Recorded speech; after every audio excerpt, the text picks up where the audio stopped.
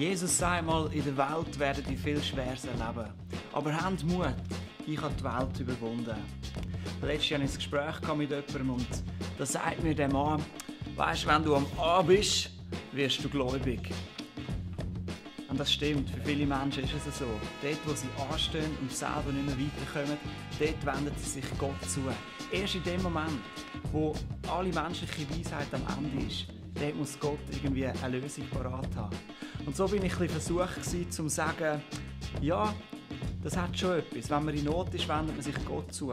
Aber wenn man auf Jesus vertraut, schon von Anfang an, dann wird man weniger da landen. Gott möchte jeden Tag mit uns unterwegs sein und nicht nur dann, wenn Probleme anstehen.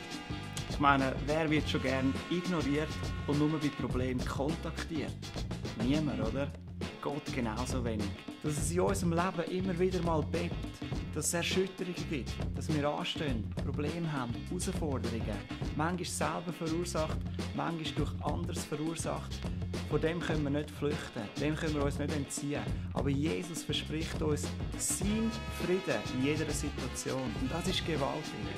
Weil der Frieden, den er gibt, der übersteigt alle Frieden, die ich selber produzieren kann. Ähm, die Hoffnung, die Jesus mir gibt, die überwindet alle Schicksalsschläge. Das Leben, das er mir gibt, das geht über den Tod raus.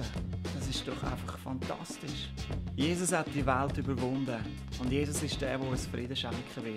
Gott bewahrt uns nicht vor den Stürmen, aber er treibt uns durch die Stürme durch. Und meine Frage an dich ist, hast du den Frieden von Gott in deinem Leben?